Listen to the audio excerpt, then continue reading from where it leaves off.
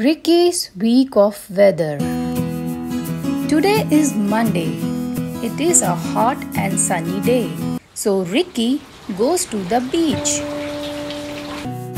Today is Tuesday and it is raining. Rikki puts on his boots and jumps in the puddles. Today is Wednesday. It is a windy day. So, Rikki wants to fly his kite. Today is Thursday.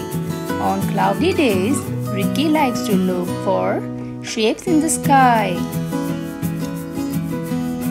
Today is Friday and it is snowing. Rikki loves the snow and wants to build a snowman.